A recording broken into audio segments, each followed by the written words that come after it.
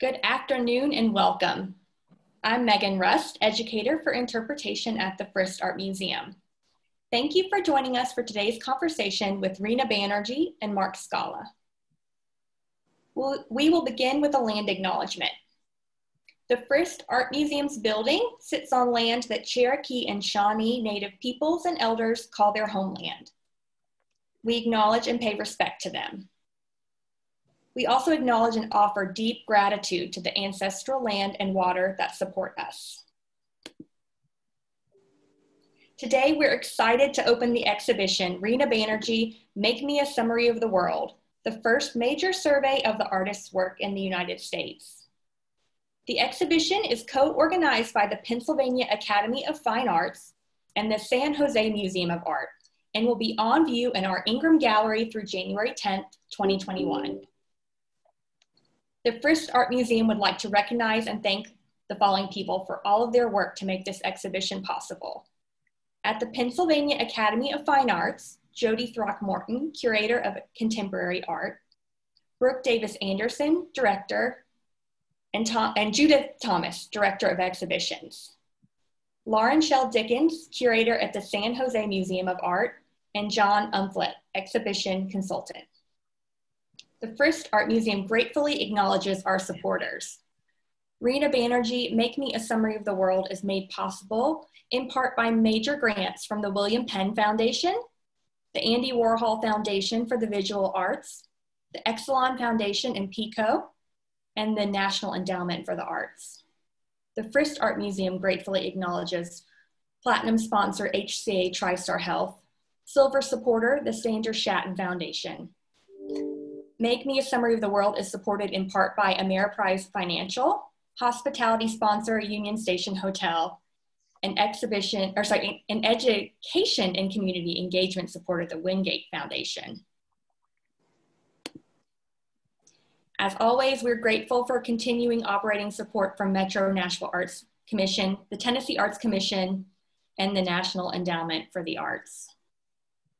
Before we begin, I'd like to share a few reminders at the end of the conversation, we'll take questions from the audience. Please submit your questions via the Q&A feature anytime throughout the presentation. And thank you in advance for your patience with us as we present this program online. In the event of a technical difficulty, we'll pause the presentation and we'll work quickly to resolve the issue. If you're having technical difficulties on your personal device, please use the chat feature to send Frist IT a message. Now it's my pleasure to turn things over to the Frist Art Museum's Chief Curator, Mark Scala, and Rina Banerjee. Please join me in welcoming them.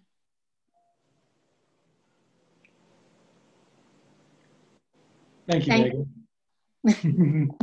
uh, thank you, Megan, and welcome, Rina. It's so lovely to see you. It would be so much nicer to see you in person. Hello, everybody. It's great to have you in my studio this afternoon. It's great to be there. What a lovely backdrop. Thank you for the Thank color. You. I love Thank it. You, Mark. Yes. Well, I'd like to just kind of lay a little bit of groundwork for the exhibition and for our discussion. I think it would maybe help people to get some sense of, if you're not familiar with Rina's work, to get some sense of what she has been sort of after for the past at least 20 years, really longer than that. But the survey itself is about a 20 year survey, a 20 year look at work that is engage with ideas that are that, that seem very topical, that seem very necessary for this moment. But in truth, they were necessary 20 years ago, and 15 years ago, and five years ago. And my expectation is they'll be necessary 30, 40, 50 years from now. I mean, I think that the whole uh, subject of crisis, the subject of migration, the subject of Uh, uh, racial dislocation, all of these things play a role. And I don't think that they'll go away. And I think that, that one of the role that artists, one of the roles that artists have is to keep our eyes on the long game, the long picture. And this is something that Rina, I think, has dedicated her work to, and we're really thrilled to be able to present it here. Today, I think it's safe to say the traditional determinants of identity, language, nationality, race, gender, these are constantly being altered or questioned.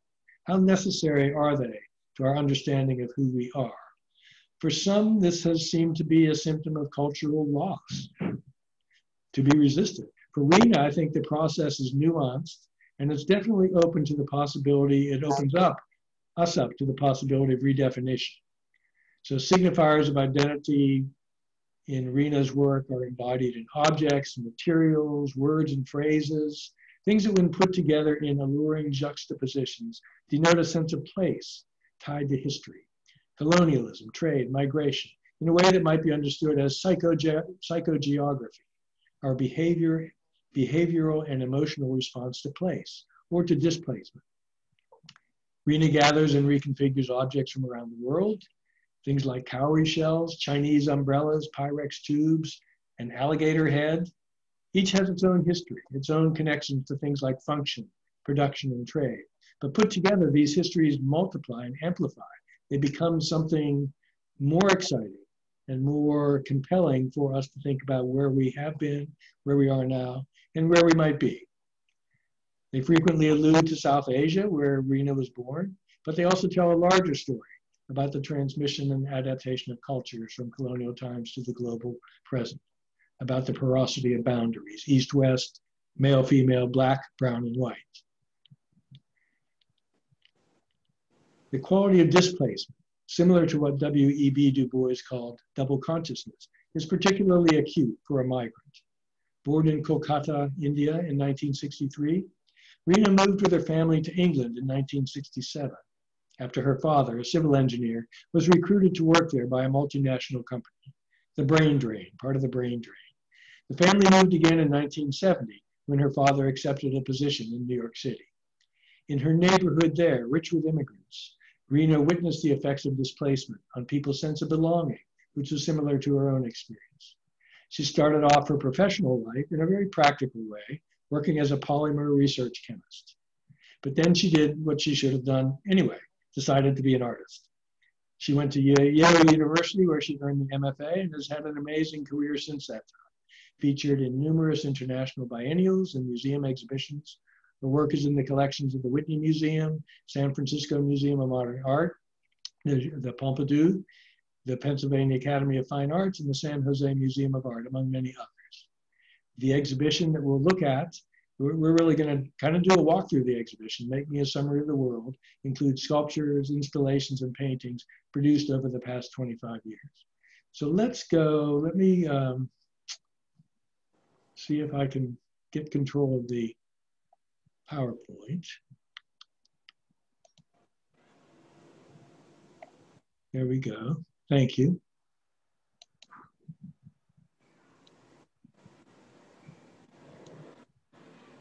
So I would like to start with this wonderful quote. This quote, when I, since I first read this quote probably two years ago, when we were speaking with Pennsylvania Academy of the Fine Arts, I thought this quote is so loaded, it's so perfect. This is the quote, these, this is the language that a scientist might use. It's so precise and so full of richness and awareness.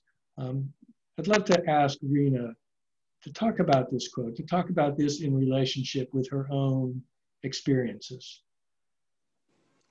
Um, good afternoon, everybody. I'm overjoyed to be able to share with you the content of my work, but also to talk about what our relationships are together as we go forward and think about uh, reaching the world and also becoming a part of the world. So, reaching the world for me, as in this quote, is about understanding how identity uh, forbids us to connect and how it entertains our access. And I think the hardest part about being an immigrant and leaving what was considered your land was this idea of ownership that we come to believe is an end all to a lot of conversations about what does culture bring to you? Who can uh, talk or represent that culture? And I think that kind of violence led me to think about what I'm talking about in this quote is authenticity itself.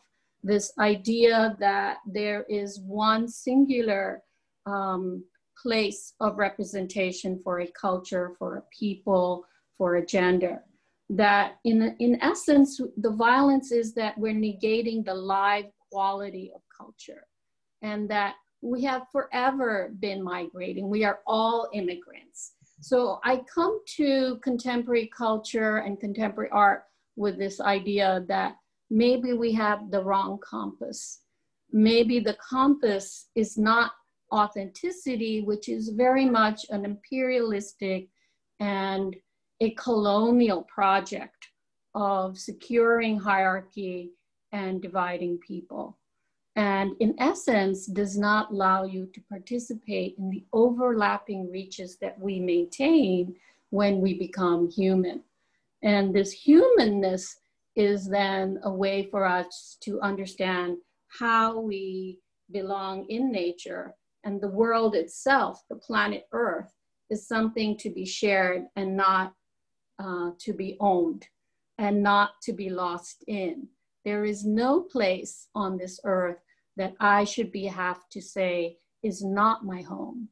And so I start with the uh, hope that you will agree with me, that you will come with me in this journey of imagining the world becoming yours.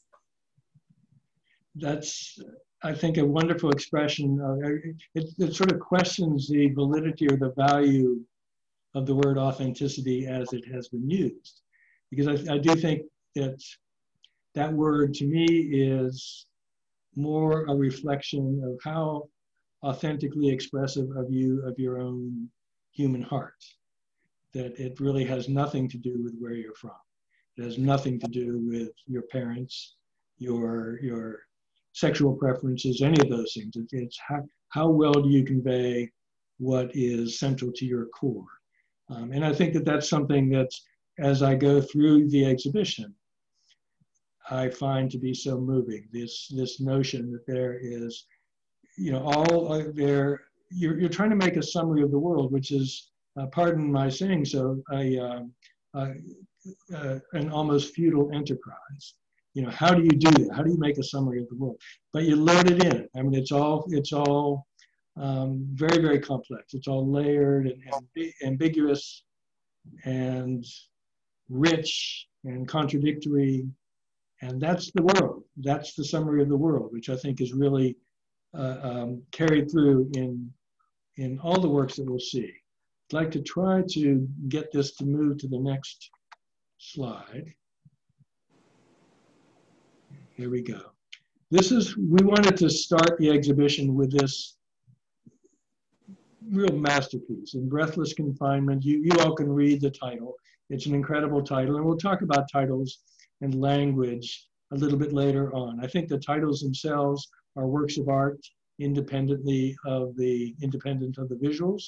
Um, but in this case, we thought it was really important to start with this work because it has so much to do with your ideas about migration, about the transmission of cultures kind of back and forth, sometimes viewed as a negative, sometimes viewed as a positive. So maybe you could talk about what your thinking was with this work. How, how did you come to this work?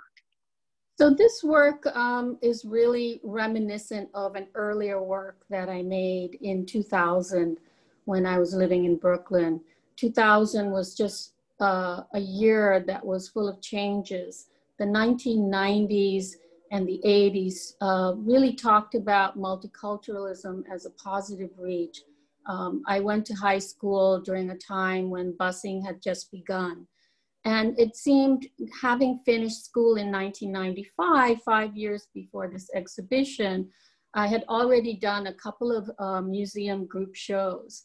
And there was a lot of tension in terms of um, addressing artists who are not white and how to present their work in a way that the audience would be able to read, to become legible. And so, as an immigrant, it was really clear to me that although there are different people in one's neighborhood and in one's world, that the fuss around difference was not really to make an artist more legible or visible, but in fact, it was a way in which to caution our viewers that they will not, should not, and cannot uh, receive this work. And so in that very beginning, I began to uh, realize that the New York art world was very insular and that I really wanted to talk about the world.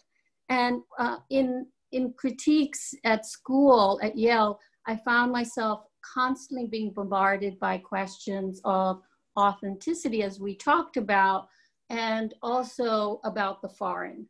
So not only did I represent India, but I represented the whole world that was not American in the eyes of American in 2000. And this was a really interesting time because I began to hear at the Whitney Museum of American Art, where you see this particular piece made in 2000 was staged, that people began to address this American museum as just the Whitney Museum. And so the dropping of the name was very promising and very problematic at the same time. And it was a show of uh, an exhibition which had not one curator, but five in order to address the multiplicity of voices that we hoped in this museum to bring into play in the biennial. So during that time, I chose to do a very large piece in my studio, which is very small and very temporary. And it was a piece that I designed mostly in my head about what it is that I'm worried about. What do I want to bring into this um, exhibition about talking about this possibility of participating in the world or representing the world in New York. And so I took on the subject of the visual aids programming, which is AIDS itself in the year 2000. And this was a real um, concern for New Yorkers, but also for the world. And there wasn't a place to talk about anybody else except people who lived in New York. And it was shocking to me that a place could be so provincial. And it was shocking to me more because in talking about disease, you realize the urgency of people coming together to be able to exchange information and to organize around ideas of progress, modernity, uh, democracy, all these things that take on really the problems of the world. And so I made a piece that was more a figurative work that had two heads. It had a tail. It was insect-like, as I felt at the time that my identity and my foreignness made me smaller, even though very much in clarity, one would say that the world was foreign if you lived in New York City. And so these kinds of contradictions began to take on meaning and connections about how we address our aversion for people who are different. And very much so, I thought that our aversion is the way we experience disease or insects, like the West Nile uh, virus was very much um, uh, identity driven. And a lot of diseases, the way they were being named at the time, were about places outside of the US. And so in this kind of figurative work, I have this really ravaged body. It looks decaying. It is complicated. It looks like intestines might be coming out. It might be an insect. It has arms, wings, and then it has this trail of tubing. And so I began to think maybe the materials I use in my work could have meaning itself. And the address to meaning and material could be very much a part of the conversation, the content of the work. And so this is really the first time that I started to make titles. And my title for that 2000 biennial was not a short one, which was Infectious Migrations. It was a long one and it was cut out, censored out at the time. So I became more and more involved and in the title, in addressing context. What is text? How is it dis- different from visual? What is drawing? Can a drawing be in a sculpture? So here you see these drawings behind this uh, figure, which I say would be like insect almost. And the drawing are found drawings that I found in Brooklyn of the Hospital for Disease Control, Columbia University. And they were drawings that were abandoned in 1968, made and abandoned in uh, 1990s. And I kind of reached out and uh, approached the uh, uh, architectural firm and gathered them. And then I was beginning to think of this idea of hospitals and modern buildings and how they were created and to think of buildings as bodies. And what was very much uh, a thing in the 90s were all these old buildings, as we know, grand buildings in the United States and in New York were being converted to be better, more appropriate for use by making them modern. And they were being modernized by these uh, ventilation systems. The guts of them had to be taken out. And so these, this kind of language about gutting a building and putting in ventilation systems and, you know, talking about sick air and fresh air and electrical systems that would feed.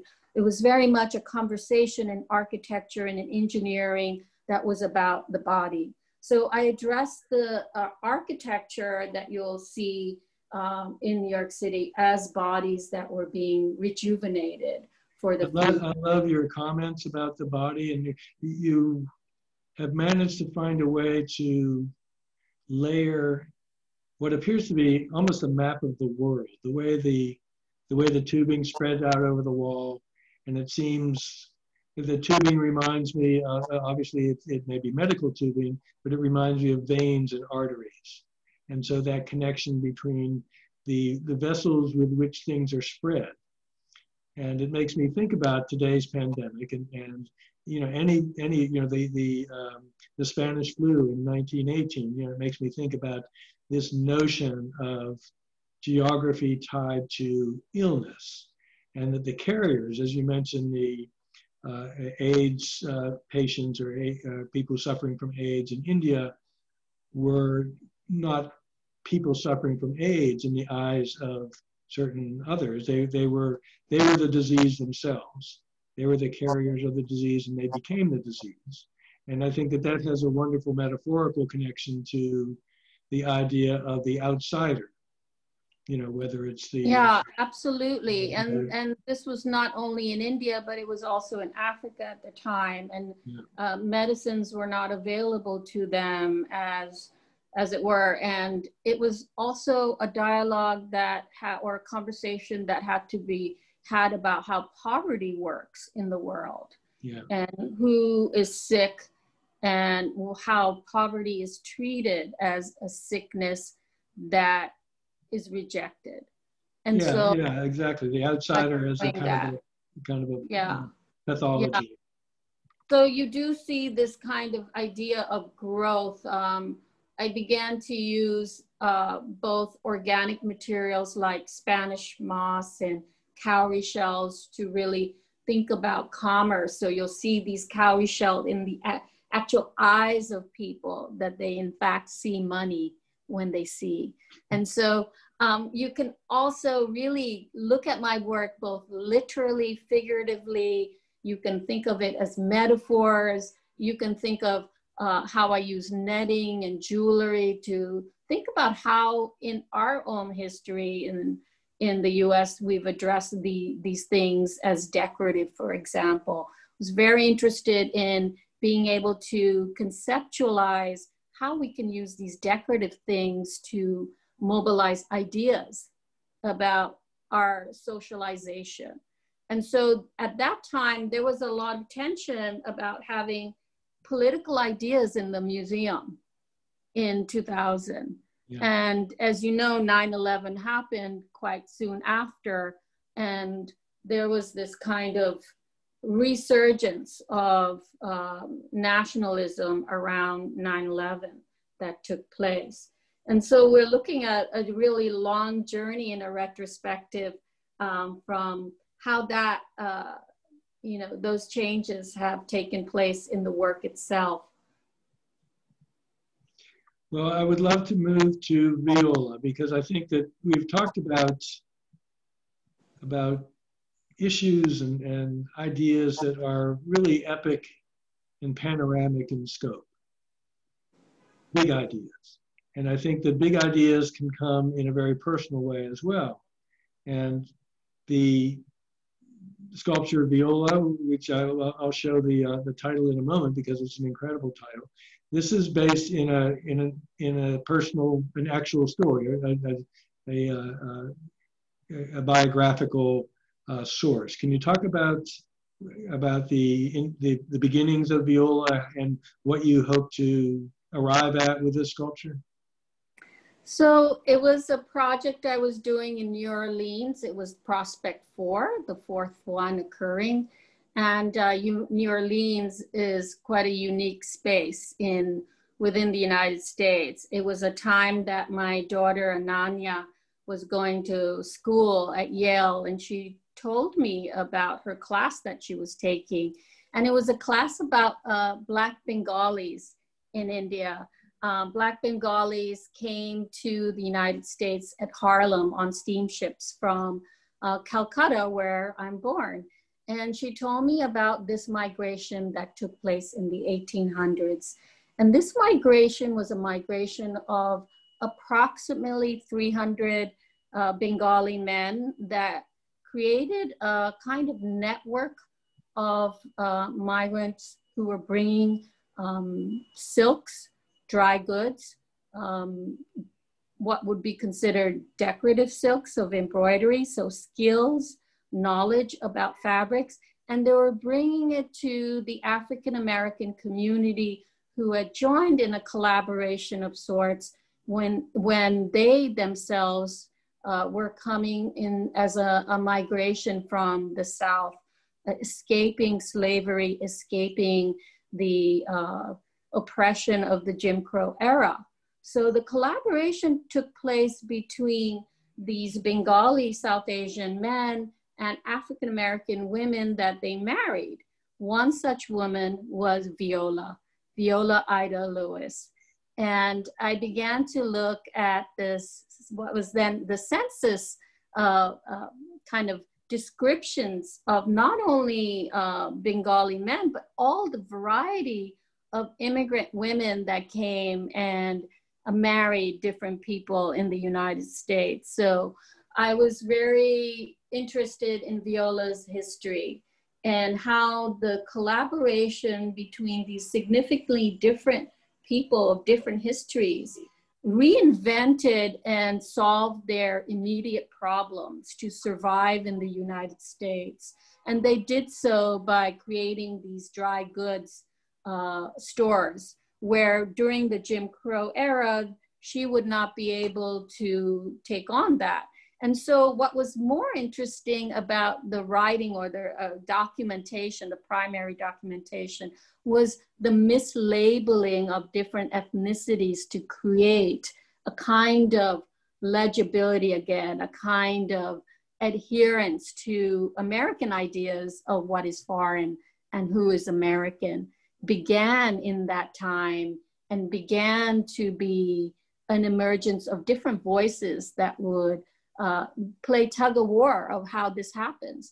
So many of the children of uh, mixed couples became mulattoes, and the women who were African American were called South Asians or Asian Africans.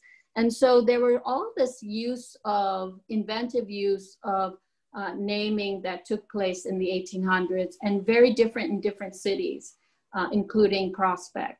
So this particular piece, um, in terms of how it was made, it was made with wings. Viola would have multiple wings.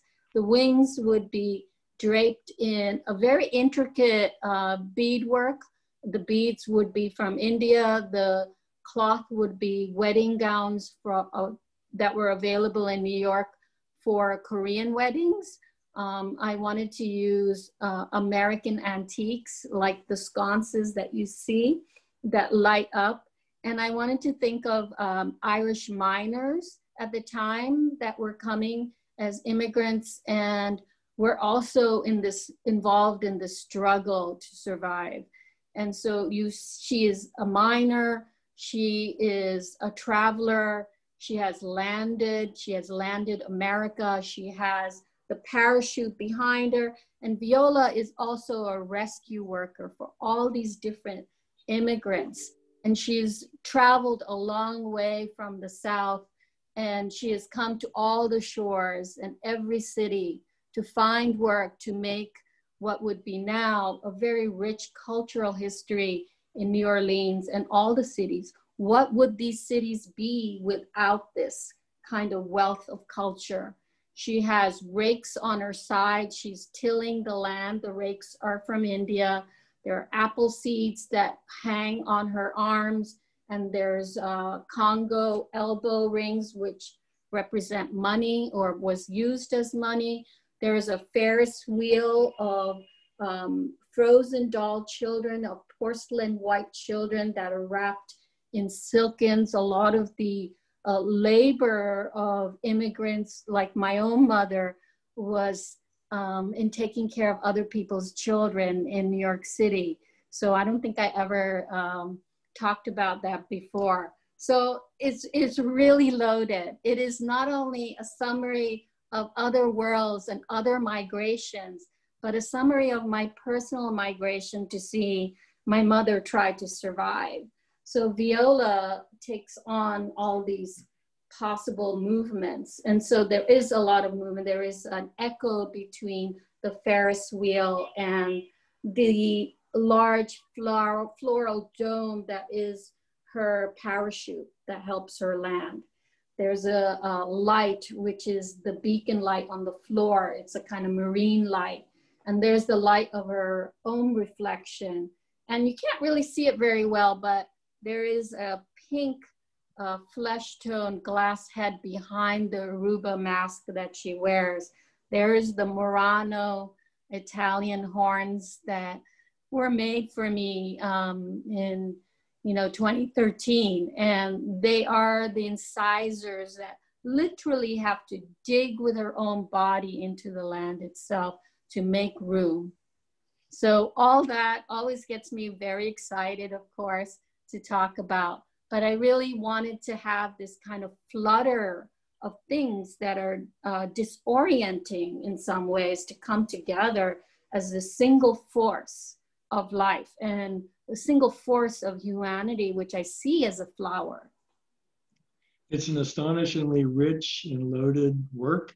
I can imagine uh, several PhD dissertations coming out of this, uh, trying to uh, uh, break it all down, but the way that you've synthesized it all into an image of extraordinary beauty and power, I think is, is a reminder that art is about the synthesis of ideas and then the then the kind of the, the transcendence of the same ideas. They, they, the ideas lead you to something and then the work itself takes over and it becomes an extraordinary experience to just stand in front of and stand in front of this sculpture. It's really quite remarkable. I did want to um, bring everybody back to the title, and I hope that when I had it up earlier that you had a chance to read it. We're not going to read it out loud because that would chew up a little bit too much time. But it is a title that is packed with history, packed with uh, very individual history and emotional perspectives, but, but allusions to much larger aspects of history. So it's, it's a really incredible title, and I think a work of poetry. You are a poet as well as a visual artist. So make me a summary of the world. Again, I think that's a pretty large order. And it reminds me of the old explorers in the old days that would bring back things from Tahiti or bring back things from, from uh, Japan or India or South Africa or um, Chile um, and bring them to the museums and the universities of the West. And with the idea that we will just accumulate everything, we'll study everything, we'll figure out how it all works together, and that's what science is all about. That's what the Western empirical method is all about. Um, the idea that you can actually do that, really understand the world by having all of its parts at your disposal, I think is a, is a bit of a fallacy, but it's also a wonderful ambition. And I'd love for you to talk a little bit about this work in that context. Well, Mark, I think the most important thing I learned about the uh, impulse to summarize the world is, is a very imperialistic impulse, is an impulse that believes that the world could be reduced into miniature things, yeah. into a game board where everything can be considered because of the overreaching view of a central force of power, imperial power, that can summarize every place that they go to. This was a colonial period which marks our colonial impulse today. And I think it's an impulse of uh, fearing the world, fearing that you can't manage it to make the world become a product of commerce, to, to milk the world of all that it is made of, to milk the earth of all that is made of, needed this kind of summary, a list like a laundry list, a list like a shopping list, what do we have in the world? What do we have in the forest? What do we have in the mountains that we can take and bring back home? The summary is about collecting everything that is never before seen and um, trying to figure out if it's worthy of our bringing back. And, and in that moment of discovery, uh, whether it's uh, this uh, discovery of Columbus or the discovery of a new place where a new place is always a place you don't belong. And it is a place where you begin to think, I must then record, examine, decipher, and then really control, to control what is out there so that it becomes mine to have. I love the connections that you make uh, between imperialism and that empirical impulse. Um, and I think that there's a there's also a very interesting consideration of globalization. You know, how do we move from imperialism to globalization? How do we move from people traveling to far corners of the world to people sitting in their apartment in New York and buying things from all four all four corners of the world. What is what is the leap there? What what can we take from that? Well, you know, this piece really dedicates itself to this idea that when the world becomes a shopping place to some effect, you're no longer looking at the world. You're looking at a store. In the same way, I'm, I'm referencing authenticity as well as making a place into an object that is legible, visible, attainable, and policed. And so when we stop policing the world into places and with boundaries that prevent them from the coming and the going, we really stop this kind of imperialism when we do that. But it is always a, this kind of storm that I think in this sculpture, I'm readily using those materials of nature that were pocketed for sale, like uh, American bison horns that you see, the black horns that stretch out and they stretch out like swords to come out into the space. And the swords are almost flanked as if it's a skirt. There is great beauty in seeing that ability to control, a kind of seduction that one experience when they can have everything in the world, to eat everything in the room, and to make everything into fruit and food is, is a very human nature at the same time. But to eat everything in one day is very scary thing about human ability. And so looking at the colonial period, we're also thinking about the industrial period and how much the world gave to places like the United States to become what it is today. How much money came out of these places, how many bodies died, and how many bodies were sacrificed to make what we considered, you know, the modern, the contemporary. And in doing that, there is this kind of chaoticness in my work that when I assemble things together, there is this attempt to make it both like a flower, as I mentioned before, but also to make it uh, into a nature that is hard to manage. And of course, we experience this a lot when we try to install my work, you know, to decipher where do we start and where do we end and how do you know when it's ended? And I ask that myself of my own work. And I have to say, I take great pleasure in improvisation, which you will see. And in some sense, there are items and objects that I brought together that communicate in a way that appear to be fixed. And there's a certain um, gesture that is maintained in this work, especially, which is very gesture driven. It allows the umbrellas to be one here, one there, but from exhibition to exhibition in all the different venues, there are iterations that cannot be controlled. And this is very much invested in how I make the work. And so the assembly of objects have certain kinds of inability to be recreated, to become permanent. And so that's very important, the work. The other thing is to use things that were remade by Rina. So in this piece, I'm very excited that these two umbrellas are Chinese umbrellas. They were made with Japanese linen that was found in Japan that I brought back. And some were delivered to me by residents there. And then there was the body of the doll. It's a Victorian doll. And I redid her face so she no longer looked like a Victorian European uh, face. And so I changed the racial content of what I'm saying in every claiming of other culture. So I'm cl- claiming them as things that I play with, that things that I speak to. And so everything is manipulated, but very minimally. There is a kind of relaxed pleasure in playing with them. It is not the kind of playing where you melt down gold and remake something else and you cannot recognize what it is you're looking at. And that's very important in the lineage of the work.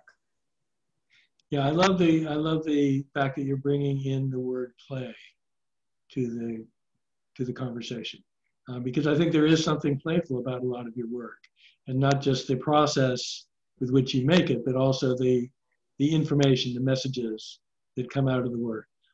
I'm going to actually jump ahead to a world lost. We're going to uh, pass over when signs of origin fade because we're running a little short on time, and I want to make sure that we have enough time to talk about that and then for questions and answers. So let me just do that. And let's see if we can. Um,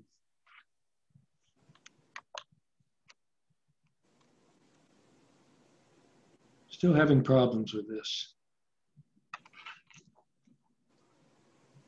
Sorry about this. There we go. There's that. I think Megan has a hand in it. Okay. So this is a world lost. And when you were talking about when you were talking about improvisation, this immediately came to my mind because this is a work that I think you have adapted for various institutions, for various displays. And you're very sensitive to the, to the geography of the museum, the architecture of the museum, but also the geography of the museum and in which it's found. Can you talk a little bit about this work? It, it, it we place it in the area relating to humanity's relationship with nature, which I think is a very, you know, fraught subject, obviously, and we have discussed, you know, hybridization and kind of the fluidity of our relationship with nature. This this is a very packed work. Can you can you give us some background on this?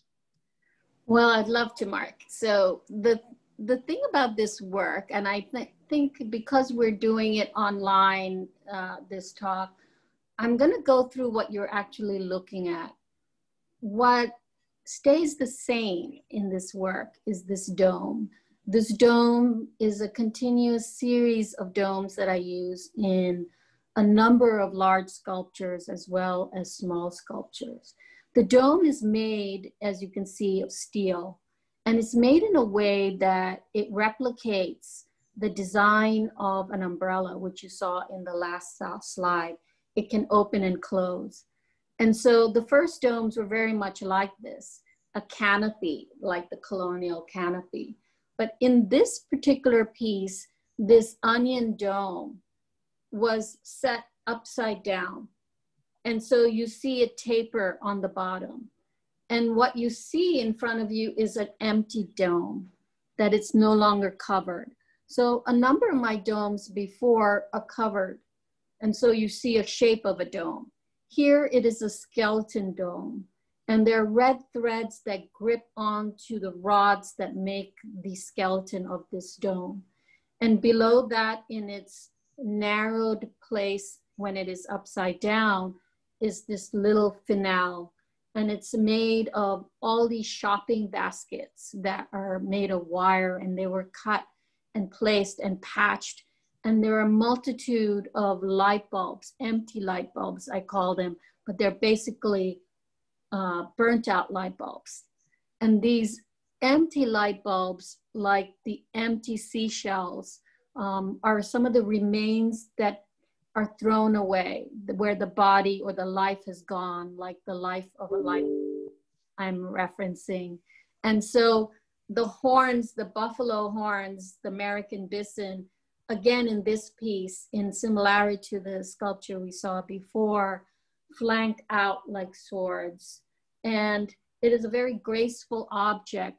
And underneath it, very uh, clearly, is a, a French colonial um, scale.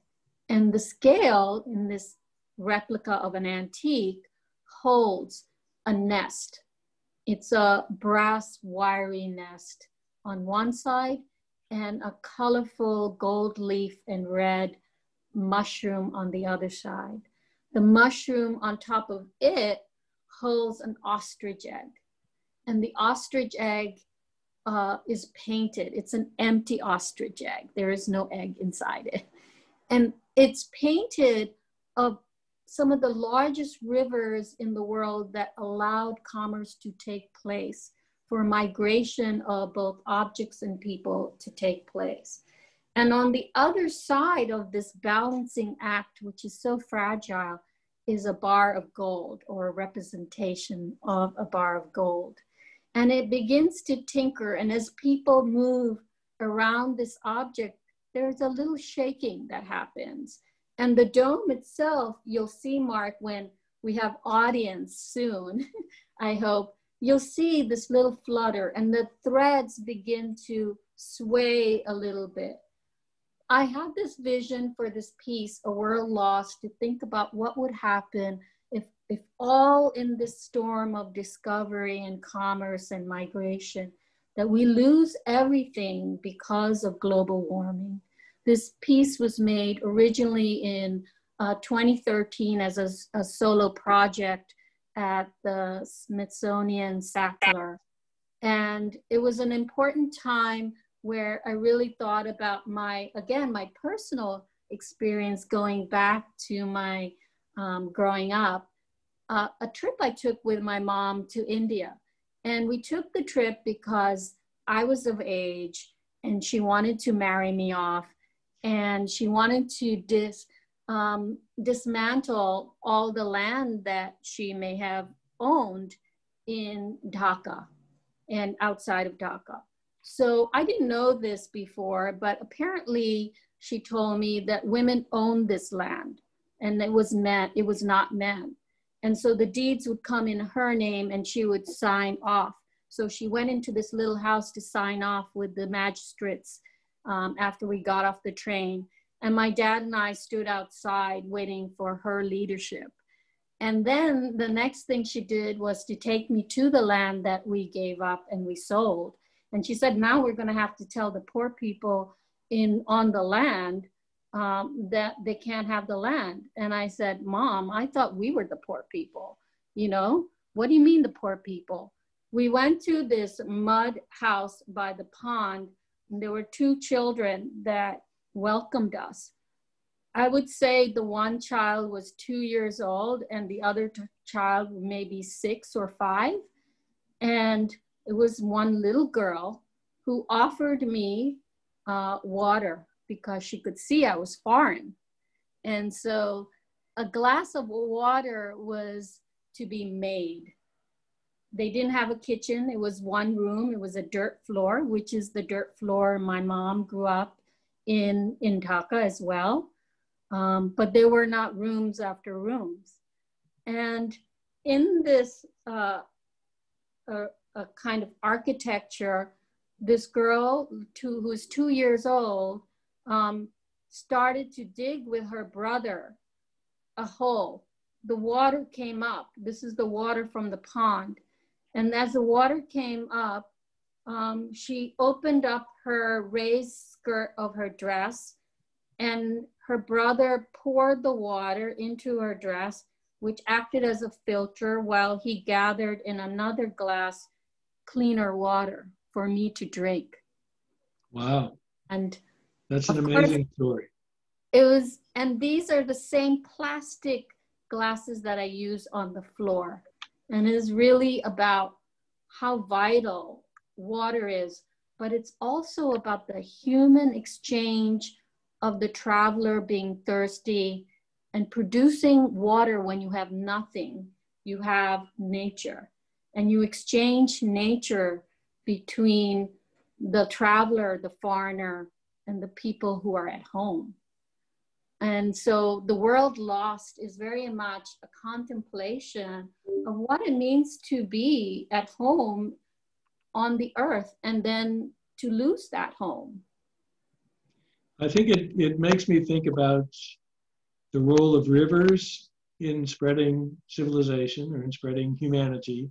You know, again, that it, it brings me back to the veins and arteries of in breathless confinement. The and rivers are oftentimes referred to as arteries, carrying people from the from the interior out to the rest of the world, carrying explorers from the rest of the world to the interior.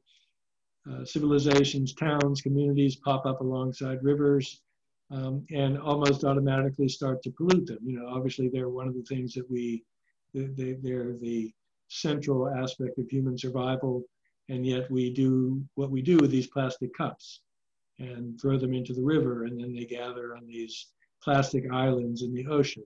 So it's obviously you're you're not you're not posing a solution to this problem but certainly recognizing the dynamics with which and, and generally it's it's people of the greatest poverty who struggle the most i think with with pollution and with um, uh, you know, industrialized nations uh, throwing their junk in into the uh, into the poor nations' backyards. Um, so it's a very very complex. You've made this also in some way an homage or a reflection of Nashville's own flood. Can you talk about that? Um, you know, rivers and how rivers are used, how they're maintained, how they are eroded, um, what we get out of rivers. Um, rivers are holy places in South Asia. Um, and just visiting the Mississippi, it was clear that the river there is a holy place.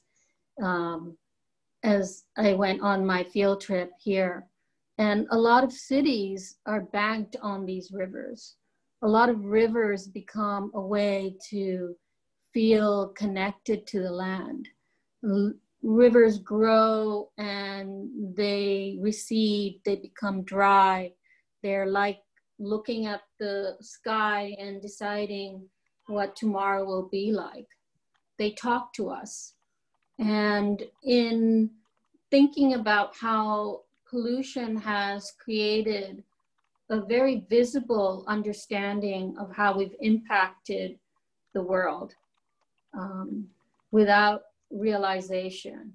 That access to water, whether it's nutrition, um, health, or to as a mode of travel, rivers became a way for those um, Black Bengalis to escape the horrible oppression that they were going through in India because of the British's inability to see that they needed to have a means of survival of commerce, which was an ancient profession for them. And so, as the cities in Liverpool began to make fabric, the Hooghly River became even more vastly um, spiritual and more vastly important to survive.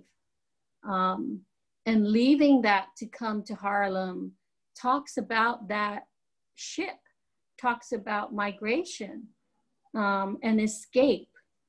And I think water, it means so many different things and are very prevalent in a lot of ceremonies um, that are religious.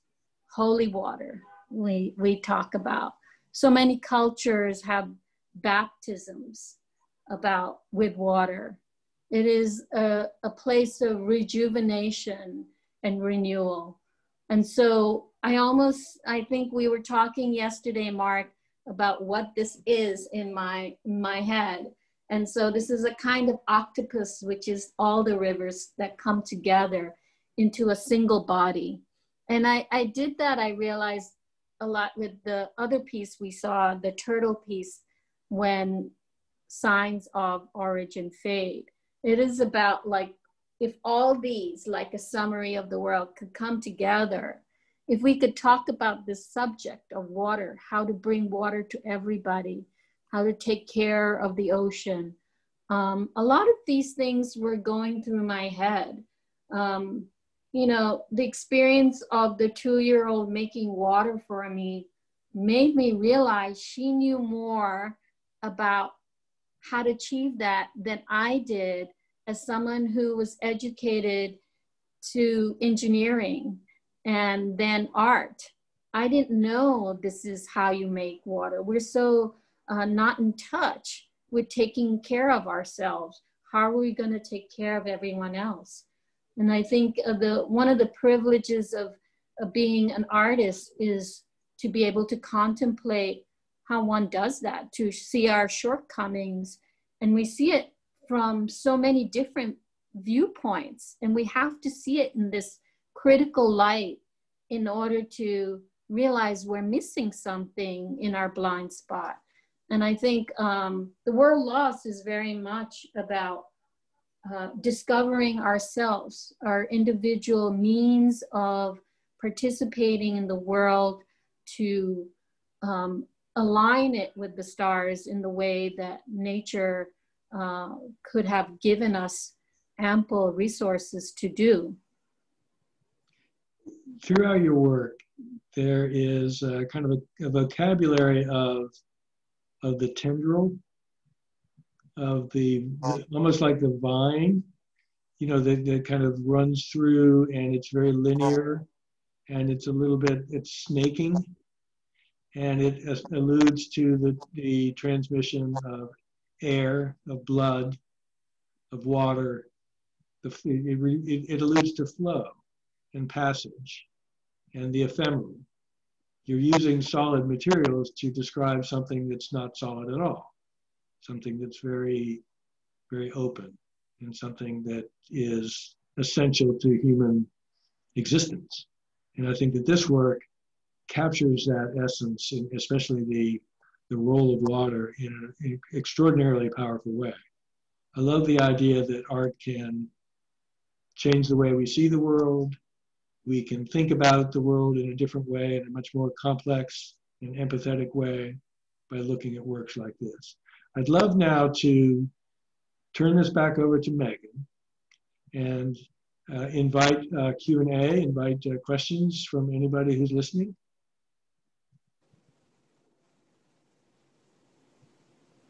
Thanks, Mark. Thank you, Rina. Um, we can take questions via the Q&A at the bottom of your screen. I think we actually have a few people watching in our auditorium at the Frist Art Museum who have joined us um, to watch there. So if you're at the Frist and want to send a qu question, Anise Daly is in the auditorium and can get your question to us.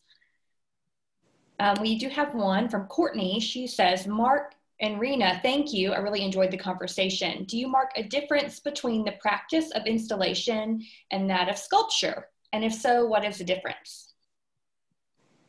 Um, I think that uh, difference has always been something that we've come to realize as a, a point of um, talking about scale um, to some, um, because an object, if it can be held as a cohesive one, sometimes that is more often referred to as uh, sculpture. An assembly of uh, things referred to in a room, in an environment as installation. Those are things I've heard from other people. But I really think what is different about uh, installation and sculpture for me, Courtney, is that when I'm thinking of making an installation, I'm really thinking about the body of the human participating to as I said, with World Lost, that kind of movement that allows an object to slightly uh, respond to the movement of the wind created by people. I've always had that um, experience where it's almost like a ghostly experience. And then there are these things that are about lighting and the sight to evoke the building that you're in, like at the Frist Museum, the post office. Mark and I had wonderful conversations about that. The floods in Nashville, which graced the hallway. Those are the things that make the sculpture in that room, which we sometimes call a museum, an installation in my mind, because it's talking about the who are those people who will come into these spaces where is this sculpture installation living? So I think that my sculpture, the way I see it as an installation, is participating in a dialogue with the building, the housing, the floor, um, the people I work with. You know, I really need that experience of where am I? Where, how did I get here? That journey. And so all those things become really the fuel of making it an installation, which is live in many ways because it can change over a period of time. It can, it's not static. Um, so those are things I gravitate towards. Thank you.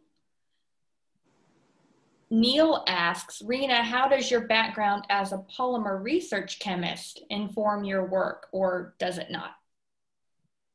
Well, as many of you might already know, um, we're in this hot topic of plastics today with an awareness of what it is and an education that we must have.